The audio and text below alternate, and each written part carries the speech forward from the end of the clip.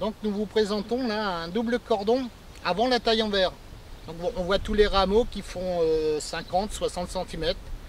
Donc euh, notre but de taille en verre, c'est de supprimer tous ces rameaux là, en fin de compte, afin de retrouver notre forme initiale qui est un double cordon, c'est-à-dire une charpentière à gauche, une charpentière à droite, avec un maximum d'une vingtaine, une vingtaine de centimètres sur chaque rameau. Ce qui permet après de préparer notre taille d'hiver euh, à trois yeux euh, sans, avoir un mètre. Et, savoir que souvent le risque quand on laisse des rameaux trop longs, c'est que la fructification s'installe des fois en bout de, en bout de rameau. Et là, c'est pas trop bon parce que si on veut faire une taille trigème et qu'on a des fruits en bout de rameau, qu'est-ce qui va se passer? C'est qu'on va supprimer nos fruits de façon à se rapprocher. Donc le but c'est de rapprocher en verre avant la fructification pour installer la fructification au plus près de la charpentière. Alors là vous voyez, la taille en verre a pour but de nous faire développer les premiers bourgeons qui sont au plus près. Comme cet hiver nous allons tailler à trois yeux, donc trois yeux ou trois bourgeons, ça sert à rien de garder 30 ou 40 cm de branche. Donc on raccourcit à 5-6 feuilles la première pousse. Et là, si on arrive à le voir correctement, vous voyez on a déjà notre formation de fruits à cet endroit-là pour l'année prochaine. Donc c'est ce qui nous permet d'avoir une fructification le plus proche possible de la charpentière.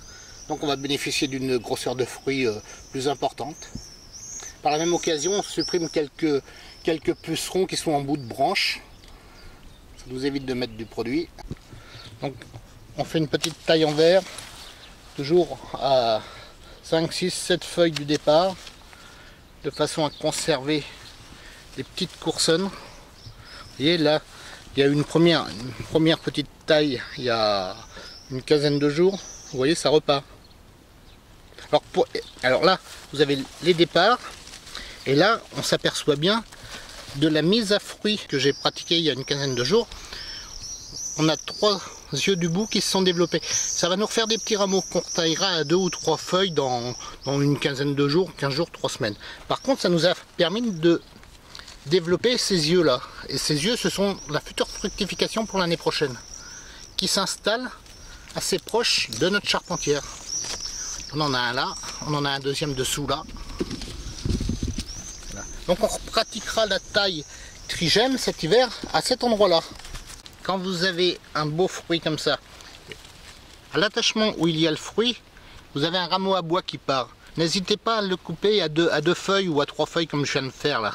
Vais même le raccourcir un petit peu. De façon à conserver la sève brute au niveau du fruit, que le fruit grossisse. Ça sert à rien que la sève passe devant le fruit et ait à alimenter un rameau de 40 cm. Un autre avantage de la taille en verre, nous sommes toujours sur un cordon euh, qui est à 80 cm de haut, un double, un double cordon un départ à gauche et un départ à droite par rapport à notre tronc qui se trouve en face de moi là. Donc vous voyez, là il y a eu un rameau qui a été laissé un petit peu long l'année passée, donc je vais le simplifier. Pourquoi? Parce que vous voyez la fructification s'installe, même principe toujours assez proche. Vous voyez là, ici, là. Donc on va avoir trois fructifications pour l'année. Ça sert à rien de conserver ce petit rameau là qui nous pompe la sève. Donc je le coupe. Voilà. Je le coupe à 5-6 feuilles de façon à conserver, à centraliser toute la sève au niveau de mes yeux. Alors faut pas non plus, alors vous, allez me dire par exemple, l'hiver vous taillez à trois yeux. Pourquoi vous taillez pas directement la taille en verre à trois yeux? Ça simplifierait, comme ça on ne ferait pas du tout la taille d'hiver. Non, on ne fait pas ça, pourquoi? Parce que ces yeux-là, si je les taille tout de suite à trois yeux, qu'est-ce qui va se passer? Ça risque de partir à bois, c'est-à-dire qu'ils auront trop de sève, donc ils vont partir à bois, donc il faut garder toujours une consommation de sève brute après ces yeux-là. Alors, il ne faut pas en garder trop parce que les yeux ne vont pas profiter, ils ne vont pas se développer. Si on coupe trop court, ils vont avoir trop de sève, ils vont partir à bois. Donc vous voyez, il faut faire un juste, un juste équilibre dans notre taille. Pas trop long, pas trop court, juste ce qu'il faut de façon que ça se développe. Ça nous permet également, d'ailleurs c'est presque l'un des premiers principes de la taille en verre, non seulement ça met, ça met la fructification, mais en plus ça nous conserve la forme de notre arbre. C'est-à-dire que si on a formé une palmette, soit un U, soit une palmette verrier, soit un cordon, soit un double cordon, ça nous permet de garder ça. Parce que si, si on garde des rameaux qui partent dans tous les sens, quand on arrive devant l'arbre, on, on ne voit plus la forme de l'arbre.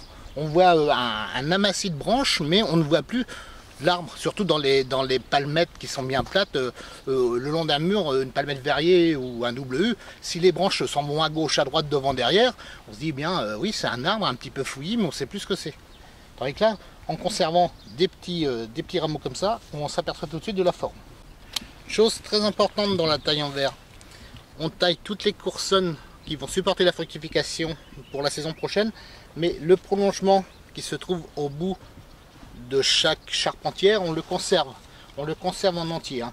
On ne vient pas le couper à cet endroit-là parce que ce prolongement-là, je ne veux pas qu'il se transforme avec de la fructification tout de suite. Je veux qu'il se transforme avec des yeux à bois de façon à me refaire des coursonnes de chaque côté et après de la fructification. Donc ça sera ces coursonnes-là l'année prochaine qu'on taillera en verre. Mais le prolongement là, on le garde toujours en entier de façon à, prolonger notre arbre sur notre euh, fil de fer.